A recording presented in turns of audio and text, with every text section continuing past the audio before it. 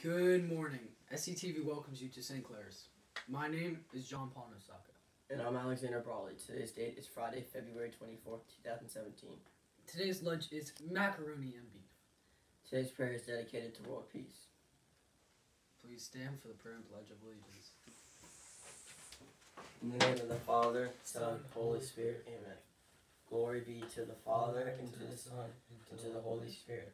As it was in the beginning, is now, and ever shall be, world without end. Amen. St. Clair, Pray for us. in the name of the Father, Son, Son, Holy Holy Spirit. Amen. Please face the flag. I pledge allegiance to the flag of the United States of America and to the republic for which it stands, One nation, under God, indivisible, with liberty and justice for all.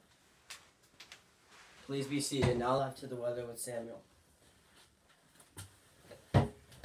Um, let's see here. Today's weather is a high of 82 and a low of 61 with a 10% chance of rain.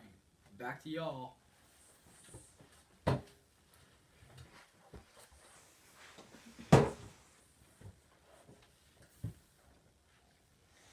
Today's birthday is John Bagocious, Bickel McKenzie, Laura McKenzie. Happy birthdays.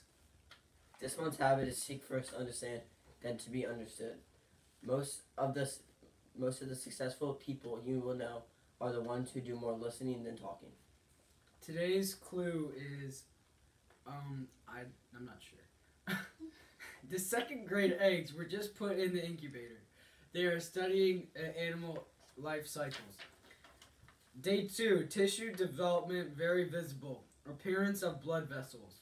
Those are good signs.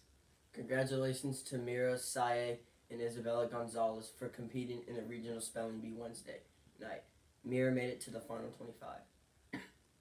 The book fair will be held next week. Classes attending on Monday, 4N, both 8th and 6th grades and pre-K on Monday.